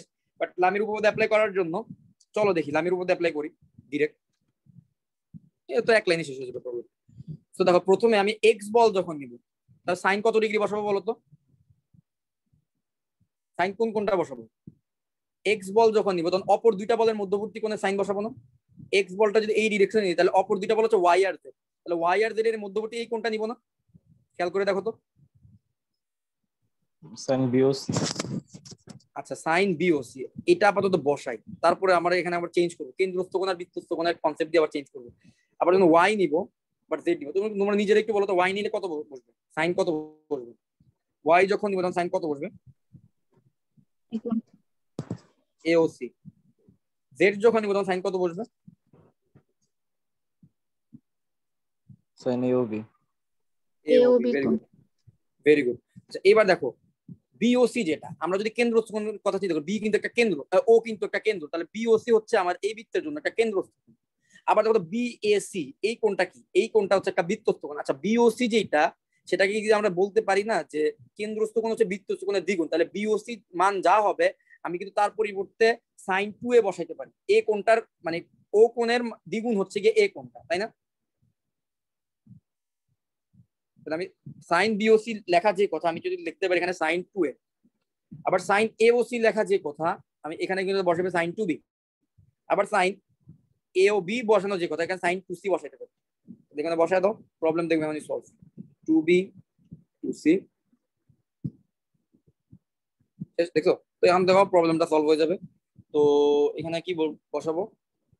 সাইন টু এর ফর্মুলা যদি বলে two sine A cos b y divided by 2 sin b cos b, z divided by 2 sin c cos c. ঠিক আছে? তো টু টু কাটো। এবার দেখো তো প্রবলেমটা মিলানো যায় প্রবলেমটা দিকে দেখো। A into cos A into cos A হ্যাঁ এরপর হচ্ছে যে কি? বলতেছে যে বি ইন্টু কজ বি তাহলে আমার এই যে সাইনে কজ বির জায়গায় এ ইন্টু ও সাইনে কজ বি বসাইছি কেন? সাইনে কজ এ হবে। আচ্ছা এখন আমাকে যেটা করতে হবে এই যে সাইন এর পরিবর্তে এখানে স্মল এ আনা লাগবে সাইন বি এর পরিবর্তে এখানে স্মল বি আনা লাগবে সাইন সি এর পরিবর্তে এখানে স্মল সি আনা লাগবে এটা আনতে পারলে প্রবলেম সলভ আর বলো তো এটা আমি আনব কীভাবে? সাইন এ এর পরিবর্তে স্মল এ কীভাবে আনব? সাইন বি এর পরিবর্তে স্মল বি কীভাবে আনব? সাইন সি এর পরিবর্তে ভেরি গুড সাইন রুল দিয়ে। আমরা জানি এ বাই সাইন এ অথবা sine A by A B by sine B is equal to C by sine C তাহলে যেহেতু এরা সমানুপাতিক তাহলে তাদের পরিবর্তে তুমি সাইনের পরিবর্তে এ বসাইতে পারো সাইন বির পরিবর্তে বি বসাইতে পারো সাইন সির পরিবর্তে সি বসাইতে কীভাবে পারো? কারণ এটা ইজ ইকুয়াল টু আমরা জানি টুয়াইজ আর তাহলে টুয়াইজ আর হইলে তাহলে এ ইজ ইকুয়াল টু কি হবে? A by sine A is equal to twice R তাহলে এ ইজ ইকুয়াল টু হবে sine A is equal to কি হবে? Sine A is equal to হবে A by twice R similarly sine B is equal to B by twice আছে সবার জায়গায় তুমি sign এর পরিবর্তে বসো এ বাই টুয়াইজ আর বসো টুয়াইজ আর তো তুমি আলটিমেটলি কেটে দিতে পারবে। এ বাই টুয়াইজ আর, ওইখানে বসবে কি বি বাই টুয়াইজ আর, তো টুয়াইজ আরগুলো যদি ক্যান্সেল আউট হয়ে যায়, তাহলে আমার problem solve b by twice r, এখানে যদি দেখি হবে c by twice r. Twice r twice r কেটে দেবো, শেষ প্রবলেমের প্রমাণটা চলে আসছে ওকে তো হলো ইজি ইজি প্রবলেম না অ্যাটলিস্ট বোর্ডের প্রবলেমগুলো ইজি লাগতেছে এখন পর্যন্ত। তোমরা টেস্ট পেপার নিজেরা একটু ঘাটবা। নিজেরা একটু ঘাটলে দেখবা অবশ্যই তোমরা আরও কিছু প্রবলেম পাবা। আমি হয়তো সবগুলা আনতে পারিনি। বা পারা সম্ভব না একটা ক্লাসে আরও কিছু প্রবলেম দেখবা সমস্যা হলে গ্রুপে জানাবে। আচ্ছা, এবার পরের প্রবলেমটা দেখি। পরের প্রবলেমে বলছে কি এক্স ওয়াই জেড এর বল প্রয়ের মান যদি এ বি সি বিন্দুতে এ বি সি বিন্দু সদৃশ সমান্তরাল ভাবে ক্রিয়া করে আচ্ছা এই প্রবলেমটা কিন্তু এবার এইট পয়েন্ট এর হয়ে গেছে। কারণ এবার সমান্তরাল ভাবে ক্রিয়া করবে। সদৃশ। একই দিকে সমান্তরাল ভাবে ক্রিয়া করবে এবং লব্ধি হচ্ছে ও বিন্দুগামী হবে। লব্ধি ও বিন্দুগামী মানে হচ্ছে লব্ধি হচ্ছে ভর কেন্দ্র সরি পরিকেন্দ্রগামী হবে। তার মানে এইট পয়েন্ট থ্রি এর যে পরিকেন্দ্রগামী যে একটা অঙ্ক করাইছিলাম, ওই অঙ্কটা আমি তোমাদেরকে মনে করাই দিই ওটার প্রমাণ ছিল এরকম। ওটা লাস্টের দিকে আমরা এই জিনিসটা প্রমাণ করতে পারছিলাম। যদি একটু মনে করো X divided by sine twice A আনতে পারছিলাম Y divided by sine twice B আনতে পারছিলাম Z divided by sine twice C আনতে পারছিলাম। আচ্ছা দেখো তো এখানে একটু চেঞ্জ করছে না? ওই প্রবলেমটাকে জাস্ট হালকা একটু চেঞ্জ করছে। দেখো তো X divided by sine twice এটাকে কি লেখা যায় না? X into one by sine twice আবার দেখো তো one by sine twice is equal to কি লিখতে পারি? আমরা জানি one by sine theta is equal to cosec theta তাহলে one by sine twice is equal to কি হবে? Cosec twice A. Cosec twice A, এটা হবে Y into cosec twice B এটা হবে Z into cosec twice C. তো আমরা eight point three এর লাস্টের দিকে একটা ক্লাসে সম্ভবত এই জিনিসের প্রমাণটা দেখাইছিলাম। তো ওই অনুযায়ী যদি তুমি করো তাহলে তুমি এই প্রবলেমটা কিন্তু সলভ করতে পারবে। আচ্ছা আগে তোমরা বলো এই প্রবলেমটা কি তোমাদের মনে পড়ছে কিনা বা তোমরা করতে পারবে কিনা? নাহলে আমি আবার একটু দেখাই দিব। তোমরা কি বলো এটা কি দেখাই দিব? নাকি পরে সিজন চলে যাব? ভাইয়া পারব এটা। এটা পারবা না? কারণ এটা তো একদম হুবহু আমরা মানে ডিরেক্ট আমাদের প্রবলেমটা জাস্ট এই লাইন পর্যন্ত করবা এরপর হচ্ছে sine one by sine twice এর পরিবর্তে কি করবা? কোসেক টুয়াইজে বসা দিবে। তো পরের সিজন চলে যাই এটাই বেটার আর কারও যদি এক্স্যাক্টলি প্রবলেম থাকে অবশ্যই লাস্ট ক্লাসে দেখবা। ওই ত্রিভুজের চার বিন্দু রিলেটেড একটা ক্লাসের মধ্যে দেখাইছিলাম এই প্রবলেম আচ্ছা আজকে দিনের জন্য এটাই মনে হয় শেষ সৃজনশীল হ্যাঁ এটা আজকে দিনের জন্য শেষ সৃজনশীল আহ, জ- বরিশাল বোর্ড দুই হাজার উনিশ। চলো এটা দেখি। দৃশ্যকল্প একের মধ্যে একটা সিনারিও দিচ্ছে এই যে দেখো, দৃশ্যকল্প একের মধ্যে হচ্ছে এই- চিত্রটা দেওয়া হয়েছে আচ্ছা আর দৃশ্যকল্প দুইয়ের মধ্যে একটা স্টেটমেন্ট দেওয়া হয়েছে স্টেটমেন্ট একটু পড়ি হ্যাঁ। চলো, বলছে কি পি এবং কিউ দুটি সদৃশ সমান্তরাল বলের সাথে একই সমতলে যথাক্রমে আর দূরত্বে এক্স মানে দুটি বিসদৃশ সমান্তরাল বল ও মাই গড এই প্রবলেমটাই আমি করাই নাই এবং এই প্রবলেমটা আমাকে বাপ্পি সম্ভবত বলছিল যে এই প্রবলেমটা ভাই আমি পারতেছি না। এই প্রবলেমটা ভোট পরীক্ষা আসা একটা প্রবলেম কিন্তু আমি কেন জানি এটা করাই আমি ভুলে গেছিলাম। তো এই প্রবলেমটা আজকে এখন করাই দিব। এটাই মেইনলি ইম্পর্টেন্ট প্রবলেম বাকি প্রবলেমগুলো তোমরা পারবা। যে বিশ সদৃশ সমান এই যে সমান্তরালের আর দূরত্বে এক্স মানে দুটি বিশ সদৃশ সমান্তরাল বল ক্রিয়ারত তাহলে হচ্ছে কি দেখাও যে লব্ধি হচ্ছে R X divided by P plus Q দূরত্বে সরে যাবে। প্রবলেমটা দেখে যদি মনে হচ্ছে আরেকটা প্রবলেমের সাথে সিমিলার কিন্তু ওটা কিন্তু সিমিলার না, এটা একটু ডিফারেন্ট তাহলে এই প্রবলেমটা আমি করাই দিব। আর বাকি দুইটা দেখো যে লামির সূত্র বর্ণনা করতে বলছে। এটা হচ্ছে একদম তোমরা বইয়ের মধ্যে পাবা। লেখায় দেওয়ার কিছু নেই, এটা তোমরা নিজেরা করবে। তারপর খ নম্বর কি বলছে? দৃশ্যকল্প এক হতে যদি R is equal to two by three Q হয়, তবে পি ও কিউ বলের অনুপাত নির্ণয় করো। আচ্ছা দাঁড়ো এই প্রবলেমটা খুবই সহজ। এটা তো, এই যে প্রবলেমটা আছে, দৃশ্যকল্প একে। দৃশ্যকল্প একটা বলতো আমাদের theta is equal to ninety degree বলতে আমরা একটা টাইপ করাইছিলাম এইট পয়েন্ট ওয়ান চ্যাপ্টারের মধ্যে। দেখো তো এটা একদম ওই টাইপের সাথে ম্যাচ করতেছে না। লব্ধিটা যে কোনো একটা বলের সাথে নব্বই ডিগ্রি কোণ করছে। তোমরা বুঝতে পারতেছো, লব্ধিটা যে কোনো একটা বলের সাথে নাইনটি ডিগ্রি কোণ কিন্তু করছে। তাহলে এটা হচ্ছে theta degree ninety theta is equal ninety degree বিষয়ক চ্যাপ্টারের প্রবলেম কিন্তু ওকে লব্ধিটা যে কোনো একটা বলের সাথে নাইনটি ডিগ্রি কোণ করছে।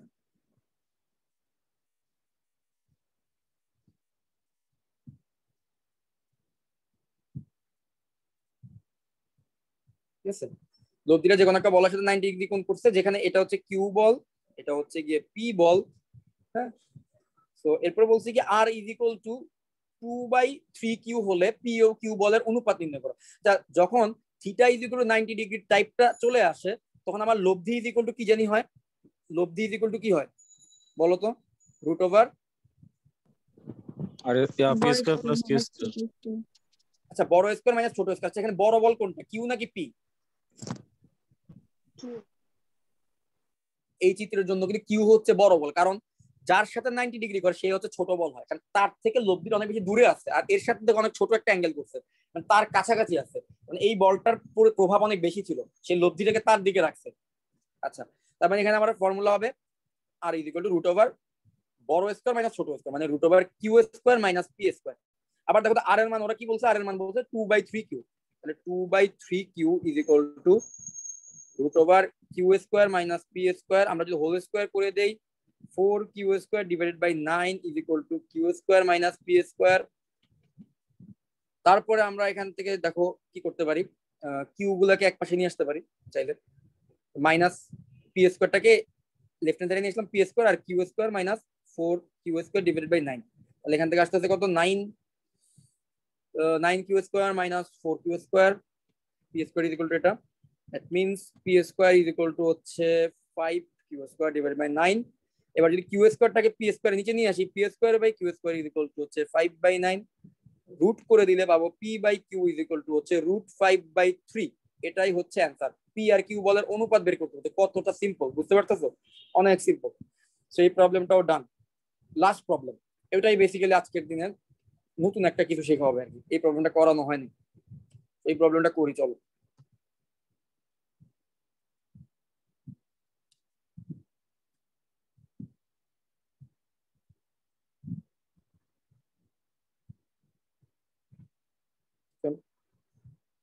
আচ্ছা। প্রথমে কি বলছে তারা? দৃশ্যবল দুটো একটু ভালোভাবে পড়ি, চলো। এখানে বলছে পি এবং কিউ দুটি সদৃশ সমান্তরাল বল। আচ্ছা। আগে আমরা পি এবং কিউ দুটি সদৃশ সমান্তরাল বল আঁকি, তারপরে কথা, বাকি কথা। একটা হচ্ছে পি বল আর একটা হচ্ছে কি? এ বিন্দুতে পি বল আর বি বিন্দুতে কিউ বল। আচ্ছা। তো তাদের লব্ধি কি হবে? তাদের লব্ধি মাঝখানে কোন একটা বিন্দুতে সি বিন্দুতে কাজ করবে, তাই না? এমনটাই তো হবে। পি প্লাস কিউ হবে। আচ্ছা এই সিনারিওটা তো বুঝলাম। তারপর কি বলছে? এই বলের সাথে একই সমতলে আর দূরত্বে এক্স মানে দুটি বিসদৃশ সমান্তরাল বল। আর দূরত্বে খুবই ইম্পর্টেন্ট একটা কথা, আর দূরত্বে। তাহলে এখন আমি কি করব? এই সিনারিওর উপর আরও দুইটা বল অ্যাপ্লাই করব। কিন্তু ওই দুইটা বলের মধ্যে একজন যেই ডিরেকশনে কাজ করবে, আরেকজন তার বিপরীত ডিরেকশনে কাজ করবে। এবং বলা হয়েছে যে দুইটা বলের মানে হচ্ছে এক্স এক্স মানে দুটি বিশ সদৃশ সমান্তরাল বল কাজ করবে। এক্স মানে দুটি বিশ সদৃশ সমান্তরাল বল কাজ করবে এবং এই বল দুটির মধ্যবর্তী দূরত্ব কত? দেখো তো, এই বল দুটির মধ্যবর্তী দূরত্ব হচ্ছে আর কারণ বলা আর দূরত্বে। এই একই সমতলের মধ্যে আর দূরত্বে আমি দুইটা বিশ সদৃশ সমান্তরাল বল ক্রিয়া করবে এখন। আমি ধরে নিলাম যে একটা বিন্দু হচ্ছে ডি বিন্দু আর একটা ধরলাম এখানে হচ্ছে ই বিন্দু। ওকে তাহলে এখানে কি বলছে? কি মানের বল? এক্স এক্স মানের বল এইদিকে কাজ করতেছে, আবার এক্স মানের বল হচ্ছে নিচের দিকে কাজ করতেছে। এই দেখো টোটাল সিনারিও এবার আমার আঁকা শেষ। প্রথমে ছিল এ বিন্দুতে একটা বল, বি বিন্দুতে একটা বল, তাদের লব্ধি হচ্ছে পি প্লাস কিউ তারপরে কি করলাম? এই সমতলের মধ্যে এই যে, এই ডি বিন্দু আর এটা হচ্ছে কি কত? এটা হচ্ছে ই বিন্দু। এই দুইটা বলের মধ্যবর্তী দূরত্ব হচ্ছে আর দূরত্ব। এই আর দূরত্বে আমি কি করলাম? একটা হচ্ছে এক্স বল কাজ করতেছে নিচের দিকে আর একটা কাজ করতেছে উপর দিকে। কারণ এখানে বলা হয়েছে বি সদৃশ সমান্তরাল বল প্রথমে কিন্তু সদৃশ সমান্তরাল বল কাজ করতেছিল। পিও যে ডিরেকশনে কিউ সেই ডিরেকশনে পরে বি সদৃশ সমান্তরাল বল কাজ ক্রিয়া করল। এখন বলা হইতেছে যে তাদের লব্ধিটা কত দূরত্বে সরে যাবে। তাহলে এই দুইটা, এই লাস্টে যে আমি ডি আর ই বিন্দু যে নতুন দুইটা বল ক্রিয়া করলাম, এইটার কারণে তাদের লব্ধিটার উপর আসলে কি প্রভাব পড়বে? লব্ধি তো আগে সি বিন্দুতে ছিল। এখন লব্ধিটা সরে কোথায় যাবে? এই জিনিসটা আর কি বের করতে হবে। মোটামুটি আগের বেসিক দিয়ে একটু চেষ্টা করলে পারা যেতে পারে হয়তো বা তো চলো দেখি আমরা পারি কিনা। এখন একটা জিনিস খেয়াল করো। যে এখানে প্রথম সিনারিওতে এ আর বি বিন্দুর লব্ধি হচ্ছে সি বিন্দু। সি বিন্দুতে পি প্লাস কিউ বল।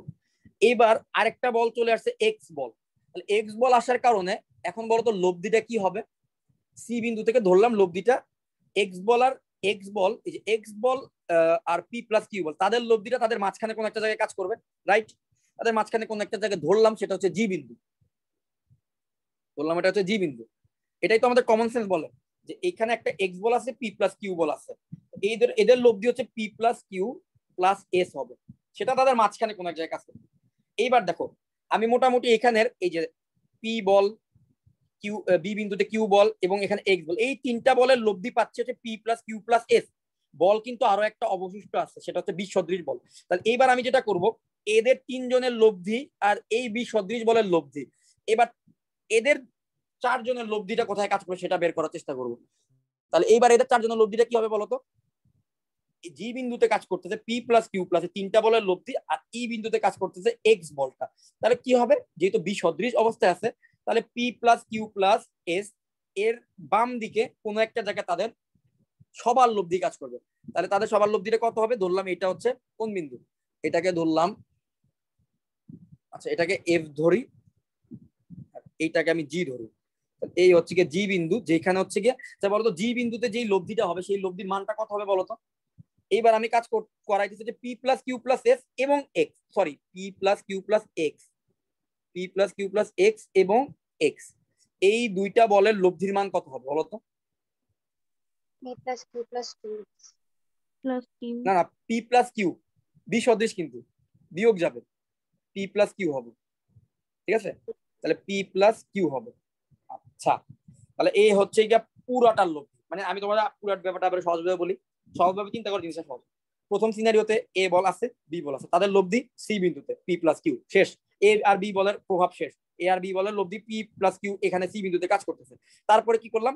আবার এখানে এই ডি বিন্দুতে এক্স বল দিলাম। তাহলে ডি বিন্দুতে এক্স বল দেওয়ার কারণে এইবার এই বল আর আগের যে বলের লব্ধি, তাদের মিলিত লব্ধি আবার এফ বিন্দুতে কাজ করতেছে P plus Q plus X আচ্ছা কিন্তু জি, শুধু ডি বিন্দুতে কিন্তু বল দিনে। বল আবার আবার ই বিন্দুতে আরেকটা দিছি, বিপরীত ডিরেকশনে তাহলে এই তিনজনের লব্ধি হচ্ছে P plus Q plus X এটার সাথে আবার যে চতুর্থ একটা বল আবার বিপরীত ডিরেকশনে তার আবার লব্ধি কত?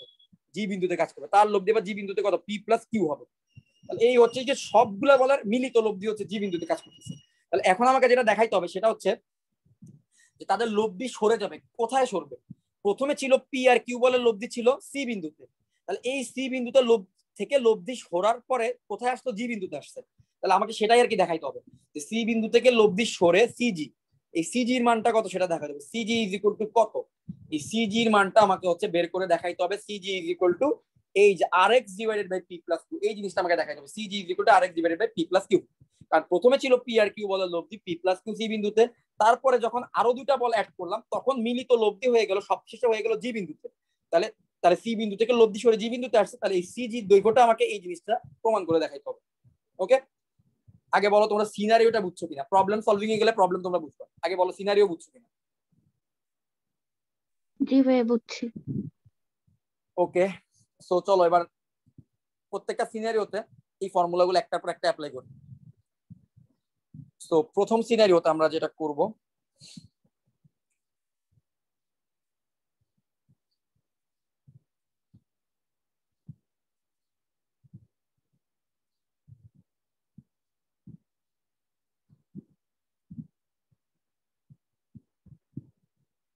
আচ্ছা প্রথমে একটা জিনিস খেয়াল করো। প্রথম সিনারি অনুযায়ী আমার পি আর কিউ বলার লব্ধি হচ্ছে সি বিন্দুতে। আচ্ছা এটা মনে লাগবে না, তাও লেখি। তাহলে প্রথম সিনারি অনুযায়ী ফর্মুলা অ্যাপ্লাই করলে কি হবে? P into AC is equal to P যে পি আর সি কিউ এর লব্ধি হচ্ছে সি বিন্দুতে। তাহলে P into AC is equal to Q into BC আচ্ছা জাস্ট আমি প্রত্যেকটা ফর্মুলা অ্যাপ্লাই করতে থাকি। অঙ্ক মিলানোর দায়িত্ব পরে। আগে ফর্মুলাগুলো অ্যাপ্লাই করে দেখি। কোন স্টেজ পর্যন্ত যাইতে পারি? আচ্ছা P into AC Q into BC আচ্ছা পরের সিনারিওতে যখন এই যে সি বিন্দুতে যে লব্ধি এটার সাথে এখন আমি ডি বিন্দুতে আবার এক্স মানের একটা বল। এবার এই দুইটা বলের মধ্যে যখন আমি কাজ করব এক্স আর হচ্ছে পি প্লাস কিউ এদের দুইজনের মধ্যে যখন কাজ করবে এবার তোমরা এটা দেখে দেখে বলো তো ফর্মুলাটা কি হবে?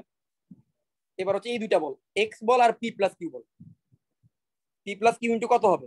X into df হ্যাঁ এক্স ইন্টু ডিএফ আর P plus Q into cf P plus Q CF আর হচ্ছে এক্স ইন্টু ডিএফ ভেরি আমি জাস্ট প্রত্যেকটা সিনিয়রতে ফর্মুলা অ্যাপ্লাই করছি দেখি মিলানোর দায়িত্ব পরে পরে মিলাইতে পারে কিনা দেখব। আচ্ছা এবার থার্ড সিনারিওতে আচ্ছা থার্ড যে সিনারিওটা আছে, এবার থার্ড সিনারিও দেখো। তাদের লোভ দিয়ে আবার আসলে P plus Q plus X এবার এইটা আর হচ্ছে গিয়ে ই বিন্দুতে যে এক্স এবার এই দুইজনের ক্ষেত্রে ফর্মুলা অ্যাপ্লাই করলে কি আসবে বলো তো? P plus Q plus X আর হচ্ছে এখানে এক্স তাদের লোভ দিয়ে হচ্ছে কিন্তু এই জায়গায় বাইরের এই জি বিন্দুতে। তাহলে এবার বলো তো এই ফর্মুলা অ্যাপ্লাই করলে কত আসবে? P plus q q. plus x into gf হ্যাঁ P plus Q plus F into GF তারপরে into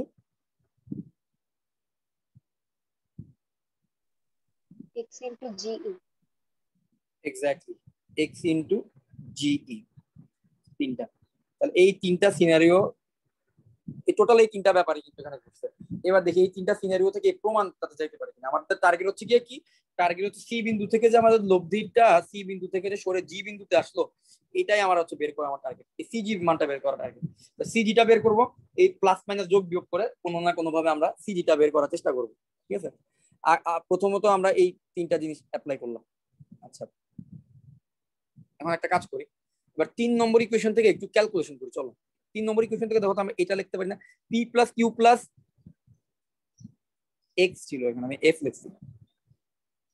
P plus Q plus X P plus Q plus X কে কীভাবে লেখা যায়? P plus Q into GF যোগ X into GF is equal to X into GE দেখো তো P plus Q plus X তো আমি P plus Q into GF যোগ X into GF এটা লিখতে পারি। আবার যদি জিএফ কমন আবার আগে জিনিসই ফেরত আসবে, আমি তিন নম্বর ইকুয়েশন থেকে আমি এই জিনিসটা করলাম। তাহলে এখন আমরা লিখতে পারি P plus Q into GF is equal to আমি যদি এক্স ইন্টু জিএফটাকে রাইট হ্যান্ড সাইডে নিয়ে যাই, আমরা কি পাবো? X into GE minus X into GF তাহলে এক্স যদি কমন নিই তাহলে আমরা পাবো জিই মাইনাস জিএফ এক্স যদি কমন নিই, আমরা পাবো হচ্ছে GE minus GF GE minus জিএফটা আমরা একটু দেখার চেষ্টা করি। জিই মাইনাস জিএফটা আসলে কোন ভ্যালু বলো দেখি। এইটা হচ্ছে জি থেকে ই আর এটা হচ্ছে জি থেকে এফ জি থেকে ই আর জি জি থেকে ই এর মান থেকে যদি জি থেকে এফ এর মানটাকে বিয়োগ করি তাহলে আমি কত পাবো? ইএফ পাবো ভেরি গুড ইএফ পাবো। দেখি আস্তে আস্তে আমরা প্রমাণের দিকে যাইতে পারি কিনা। না এই অঙ্কগুলো না আমার নিজেরও আমি যখন আমি করা যাই আমি নিজেও একটু লেস কনফিডেন্সের মধ্যে থাকি। লেস কনফিডেন্স থাকি না আমার তো তোমাদের সামনে দেখাই তো আমি ধরো পাঁচ সেকেন্ডও যদি একটা প্রবলেম নিয়ে ভাবি তো এটাও মনে হইতেছে যে মানে প্রেশার কাজ করে আর কি যে কারণ এগুলো একটু ভাবা লাগে আর কি প্রবলেমগুলো। আর বেশি বেশি প্র্যাকটিস থাকলে তখন সমস্যা হয় না। এটা হচ্ছে X into EF X into EF আচ্ছা তাহলে পি প্লাস কিউ ওকে আমার মোটামুটি কাজ শেষে। দুই নম্বর ইকুয়েশনে দেখো পি প্লাস কিউ কিন্তু আছে। তাহলে এটাকে আমি চার নম্বর ইকুয়েশন নাম দিলাম। তিন নম্বর ইকুয়েশন থেকে ক্যালকুলেশন করে এই পর্যন্ত আসলাম। তাহলে এইবার একটা কাজ করব। এইখানে যেটা পি প্লাস কিউ ইন্টু দেখো তো এই ইকুয়েশনটা দেখতেছো? দুই নম্বর ইকুয়েশনটা দেখতেছো? এই যে দুই নম্বর ইকুয়েশনটা আছে না, এটার মধ্যে পি প্লাস কিউ আছে কিন্তু, ঠিক আছে? মানে এইটার মধ্যে পি প্লাস কিউ এই দুইটাকে যোগ করব। কেন যোগ করব? কেন যোগ করব? কারণ দেখো সিএফ আর জিএফ সিএফ আর জিএফ কেন যোগ করব সেটার অ্যান্সারটা তোমাদের একটু বলি। তোমরা কি বুঝতে পারছ কেন আমি এই দুইটা ইকুয়েশন যোগ করব? দেখো তো, এই দুইটা ইকুয়েশন যদি যোগ করো, এখানে P plus Q into CF আছে, আবার এখানে P plus Q into GF আছে। যদি যোগ করো, তাহলে তুমি লেফট হ্যান্ড সাইডে কি? পি প্লাস কিউ কমন নিবা। পি প্লাস কিউ কমন নিলে কি হবে? সিজি সিএফ প্লাস জিএফ যোগ হবে। আচ্ছা বলো তো সিএফ আর জিএফ কে যোগ করলে তুমি কত পাবা? সিজি সিজি কিন্তু আমার টার্গেট আমার টার্গেট কিন্তু সিজির মানটা বের করা, বুঝতে পারছ? আমি কিন্তু প্রবলেম সলভ করে ফেলছি কাইন্ড অফ আমার কিন্তু প্রবলেম অলমোস্ট সলভ কারণ হচ্ছে কি, আমি এখন যদি এদেরকে যোগ করি, আমার সলিউশন চলে আসবে। এটা কিন্তু ইম্পর্টেন্ট একটা প্রবলেম এটা কেন জানি বাদ দিয়ে দিচ্ছি। আমার কাছে মানে আমি হয়তো বই বই দেখার সময় ভাবছিলাম যে এই টাইপের এটা মানে সিমিলার টাইপের প্রবলেম যেগুলো আমি করাচ্ছি না বাট এটা দেখি আসলে ডিফারেন্ট তো যাই হোক, যদি আমি দুই আর চারকে যোগ করি, তাহলে দেখো তো আমি লেফট হ্যান্ড সাইডে কি পাবো? এটার লেফট হ্যান্ড সাইডে আছে হচ্ছে P plus Q into CF এটা লেফট হ্যান্ড সাইডে আছে P plus Q into GF তাহলে যোগ করলে পাবো পি প্লাস কিউ যদি কমন নেই, তাহলে সি এফ প্লাস জিএফ আর রাইট হ্যান্ড সাইডে যদি যোগ করি তাহলে পাবো X into GE plus X into EF আচ্ছা এবার আমরা আবার P plus Q into CF আর জিএফ কে যোগ করলে আমরা পাবো সিজি আমরা পাবো এই যে সি থেকে জি এটা আমাদের টার্গেট সিজি আর এক্স যদি কমন তাহলে জিই আর ইএফ জিই আর ইএফ আচ্ছা জিই আর ইএফ কে যোগ করলে কি আসে সেটা দেখি, চলো। আচ্ছা একটা জিনিস কি বুঝতে পারতেছো? জিই আর ইএফ জিই আর হচ্ছে গিয়ে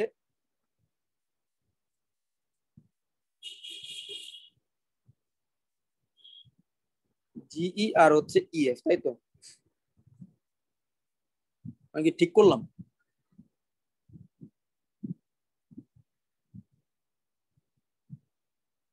নাকি আমি ভুলভাবে ভুল কিছুকে যোগ করলাম? সরি সরি আমি তো একটা জিনিস ভুল করছি। একটা তোমরা খেয়াল করছ? আমি দুই নম্বরের সাথে চার নম্বর যোগ করছিলাম। দেখো তো, দুই নম্বরের রাইট হ্যান্ড সাইডে কিন্তু আছে এক্স ইন্টু ডিএফ আর এখানে আছে এক্স ইন্টু ইএফ ইএফ আমি এক্স ইন্টু জি যোগ করে ফেলছি ভুলে। ঠিক আছে? এই জন্য তো মিলতেছে না। তার মানে দেখো তো কি হবে? এক্স দুই নম্বরের সাথে যদি চার নম্বরকে যোগ করি লেফট হ্যান্ড সাইডটা ঠিকভাবে যোগ করছি রাইট হ্যান্ড সাইডে হচ্ছে এক্স ইন্টু ডিএফ আর এক্স ইন্টু ইএফ যোগ হবে। এক্স ইন্টু ডিএফ আর এক্স ইন্টু ইএফ তাহলে এক্স ইন্টু ডিএফ আর এক্স ইন্টু ইএফ তাহলে হচ্ছে ডিএফ আর ইএফ যোগ হবে। এবার চলো দেখি ডিএফ আর ইএফ এর যোগফলটা কত আসে। দেখি বলো দেখি। বলতে পারবা ডিএফ আর ইএফ এর যোগফল কত? এটা হচ্ছে ডিএফ ডি আর এটা হচ্ছে ইএফ তাহলে ডিই আচ্ছা ডি এর একটা মান কিন্তু কোশ্চেনে দেওয়া ছিল ডি এর মানটা কত বলতে পারবা? ডি আর ই এই দুইটা বিন্দুতে দুইটা বল কাজ করতেছিল। তাদের বলা হয়েছিল না যে তারা আর দূরত্বে কাজ করতেছে। আর দূরত্বে এক্স মানে দুইটা বিসদৃশ বল। তাহলে ডি থেকে ই পর্যন্ত ডিস্টেন্সটাই কিন্তু আমার আর ডি থেকে ই পর্যন্ত ডিস্টেন্সটাই কিন্তু আমার কি? আর আশা করি এটা তোমরা বুঝতে পারছ। তাহলে এখন আমি ডিই ডিএফ আর ইএফ কে আমরা লিখতে পারি আর এক্স ইন্টু আর লিখতে পারি। আর এটা হচ্ছে P plus Q into CG তাহলে that means CG is equal to হচ্ছে X into R divided by P plus Q এটাই কিন্তু প্রমাণ করতে বলা হয়েছে। এটাই কিন্তু প্রুফ করতে বলা হয়েছিল ওকে এটা হচ্ছে কি আমাদের সিজি তো সিজি মানটা এটাই প্রমাণ করতে বলা ঠিক আছে, তো আমাদের মোটামুটি eight point one eight point two eight point three এর কিছু বোর্ড কোশ্চেন তোমাদের সাথে শেয়ার করলাম। তোমরা আমাদের বুঝতে পারতেছো যে এখানে বইয়ের অঙ্কগুলো আছে। যদি তোমরা আমি যে প্রবলেমগুলো করছি, এগুলো যদি একটু বুঝে বুঝে করো, একটু প্র্যাকটিস করো, তোমরা বোর্ড পরীক্ষা যে কোনো, এইখান থেকে আসা যে কোনো প্রবলেম পারবা। আর এমসিকিউ যে ক্লাসটা করাইছি সেটা যদি তোমরা একটু বুঝে যদি পুরো ক্লাসটা করতে পারো, তোমরা যারা এখানে মেডিকেলের প্রিপারেশন নিবা, তাদের ভার্সিটির অলমোস্ট প্রিপারেশন এখান থেকে হয়ে যাবে। ঠিক আছে? ভার্সিটিতে যে এমসিকিউ গুলো আসে আমি তোমাদের এমসিকিউ ওই ক্লাসটাতে যে প্রবলেমগুলো সলভ করেছি ওগুলো যদি বুঝে করতে পারো ভার্সিটির প্রত্যেকটা এমসিকিউ তুমি হয়তো বা পারবে ইনশাআল্লাহ ওকে আর তো এই পর্যন্ত হচ্ছে কি কথা। নেক্সট ক্লাসে আমরা আমি গ্রুপে জানাই দিব তোমাদেরকে নেক্সট ক্লাসে আমরা কোন চ্যাপ্টারের হ্যাঁ বুঝি নাই আরেকবার বলবা?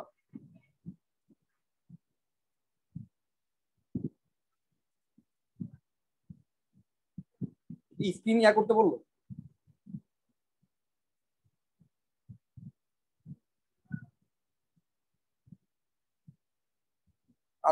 ঠিক আছে। তো আজকের ক্লাসটা আমি তাহলে এখানেই শেষ করি। আর নেক্সট ক্লাসে আসলে কোন চ্যাপ্টারের উপর আমরা সিকিউ বা টেস্ট পেপার সলভ করব সেটা আমি গ্রুপে জানাই দিব। ঠিক আছে? তো এখানে আমি ক্লাসটা শেষ করতেছি।